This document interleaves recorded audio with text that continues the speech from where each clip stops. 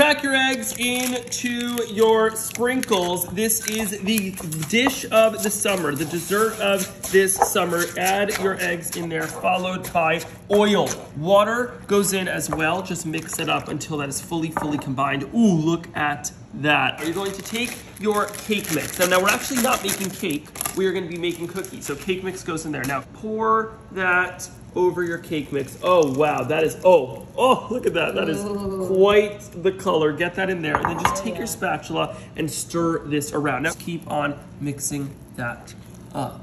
Grab a scooper and just scoop up your dough. This is kind of almost like whoopie pie consistency. Like it's definitely a thinner type of batter, you know, or, or, so just take these, pop them right in the oven. And just take your cookies out of the oven. Ooh, look at that. All right, let's give it a try. Just rip that open. Ooh, look at that. It's, mm.